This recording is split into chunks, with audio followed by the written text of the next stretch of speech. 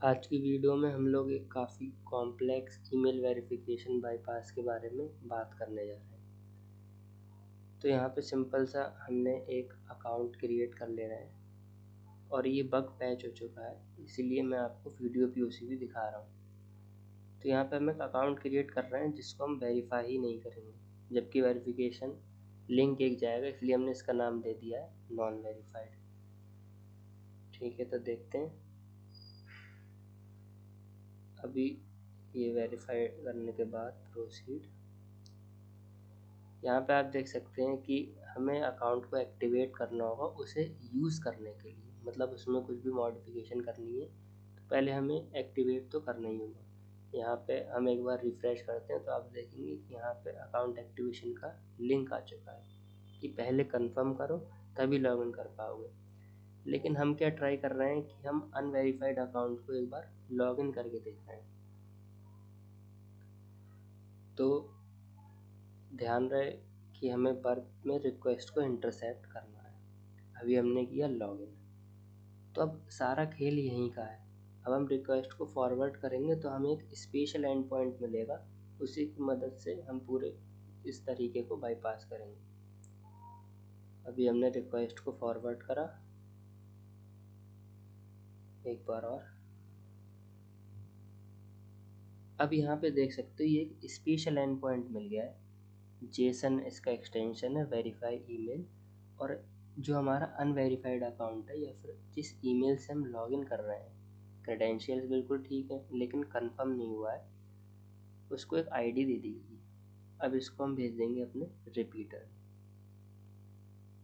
Repeater में भेजने के बाद इसको एक बार सेंड कर देंगे। तो यहाँ पे देख सकते हो जो अकाउंट अनवेरीफाइड है, उसकी काफ़ी सारी डिटेल्स पे लगेंगे जैसे उसका ईमेल एड्रेस और यहाँ पे देख सकते हो ईमेल कंफर्म फॉल्स यानी कि ये कंफर्म हुआ ही नहीं है। ठीक है? अब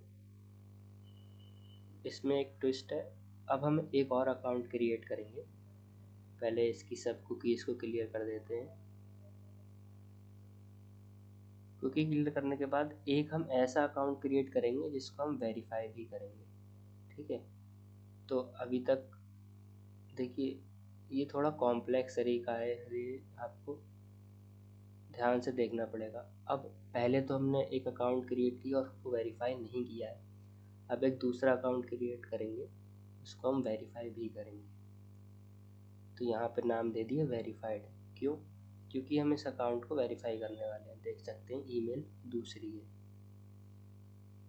ठीक है, आगे बढ़ते हैं। वेरिफिकेशन पे। प्रोसीड करा। यहाँ पे हमारा कंफर्मेशन के लिए लिंक आ गया। ठीक है, और हमने उस पर क्लिक करके उसे ये देख सकते हो। ज़्यादा इसके या कंफर्म आ गया। कंफर्म ईमेल एड्रेस पे क्लिक किया। और अपना अकाउंट कंफर्म करके हम सीधे अपने अकाउंट पे आ गए। एक बार इसको लॉग आउट करते हैं और फिर से लॉग इन करते हैं वेरीफाइड अकाउंट को। इसको हमने कंफर्म कर दिया। आईडी पासवर्ड बर्क ने इंटरसेप्ट कर दिया। और वही एंड पॉइंट हम इसके लिए भी हमें पता लगेगा, बस आइडेंटिफायर अलग होगा। फॉरवर्ड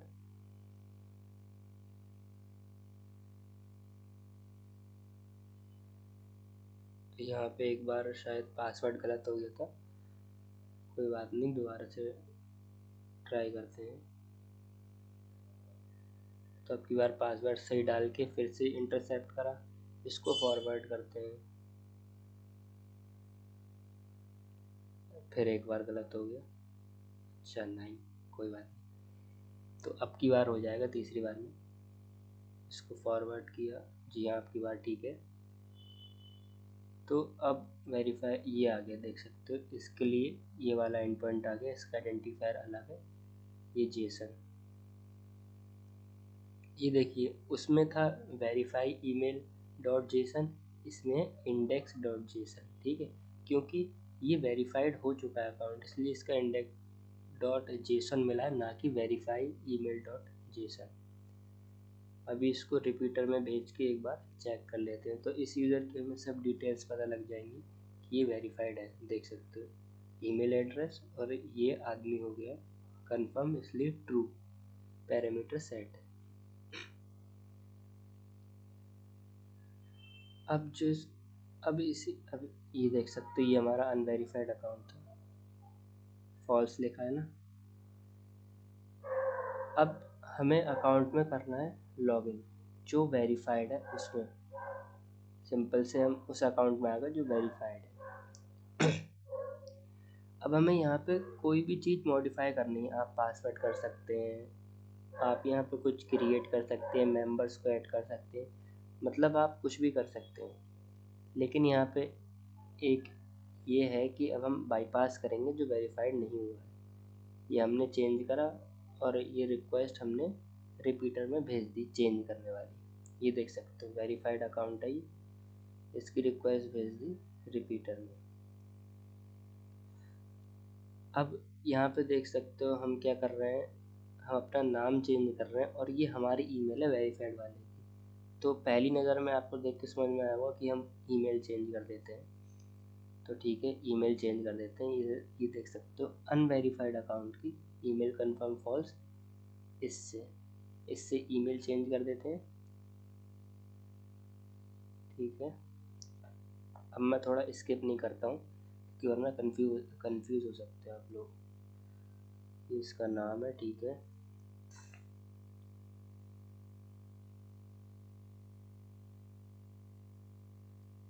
ये अनवेरीफाइड ईमेल लिख दी हमने कंफर्म नहीं हुआ अकाउंट और इसका नाम हमने चेंज कर दिया बाईपास और पहले क्या था नाम? नॉन वेरीफाइड, यहाँ पे देख सकते हो नॉन वेरीफाइड अकाउंट लिखा है।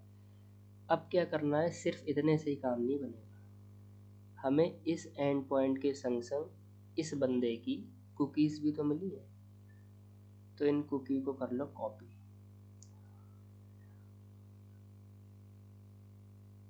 और इससे कर दो रिप्लेस वेरीफाइड वाले से रिप्लेस कर दी अनवेरीफाइड वाले। अब अब क्या करना, इतने से भी काम नहीं चलेगा। इसका C S R F token अलग है अनवेरीफाइड वाले अकाउंट का, और वेरीफाइड वाले अकाउंट का अलग है। तो अब इसका C S R F token भी कॉपी करके, वहाँ पे उस वाली रिक्वेस्ट में चेंज कर दो।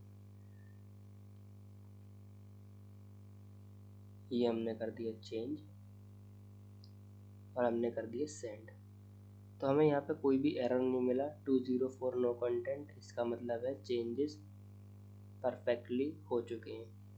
अब ये देख सकते हो, अभी हमारे पास जो नाम था नॉन वेरीफाइड जहाँ पे ईमेल कंफर्म भी नहीं हुई है तो हम लॉगिन तो कर ही नहीं सकते थे।